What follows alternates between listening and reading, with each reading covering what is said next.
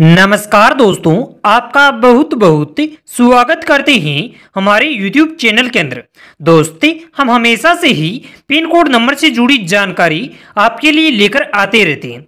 और आज हम इस वीडियो में जानेंगे कि उमरिया का पिन कोड नंबर क्या है, या फिर कह सकते हैं कि उमरिया का पिन कोड कितना होता है, इसके बारे में आपको बड़ी ही अच्छी जानकारी देने वाली तो वीडियो को पूरा ज़रूर देखें और वीडियो अच्छा लगे तो वीडियो को लाइक करें, चैनल को सब्सक्राइब करें और बेलाइकन को दबा दें। दोस्तों, अधिक समय न लेते हुए हम वीडियो को शुरू करते हैं। और सबसे पहले हम जान लेते हैं कि आखिर पिन कोड क्या है। डाकघर का छह अंकों का कोड जो होता है, उसे पोस्टल इंडेक्स नंबर कहा जाता है। और इसे ही हिंदी में पिन कोड कहा जाता है। और यह जो पिन कोड होता है, वह भारत के प्रत्येक राज्य, ज़िले, शहर, गाँव आदि के अलग अलग होते हैं। इसके अलावा दोस्तों, अब हम उमरिया के पिन कोड नंबर के बारे में जानकारी हासिल कर लेते हैं।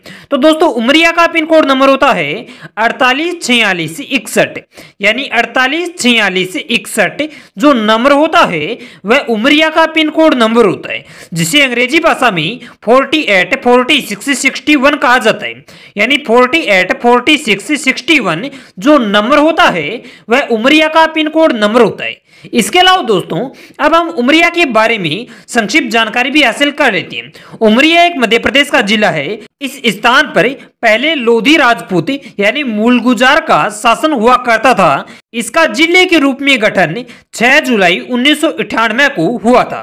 इसके अलावा दोस्तों, अब हम उमरिया के बारे में एक बार फिर से बात कर लेते हैं कि इसका पिन कोड नंबर क्या है। तो दोस्तों, उमरिया का पिन कोड नंबर होता है अड़तालीस छियालीस इकसठ, यानी अड़तालीस छियालीस इकसठ जो नंबर होता है, वह उमरिया का पिन कोड नंबर होता है, जिसे अंग्रेज़ी भाषा में forty eight forty six sixty one कहा जाता है। यानी forty eight forty six sixty one जो नंबर होता है, वह उमरिया का पिन कोड नंबर होता है।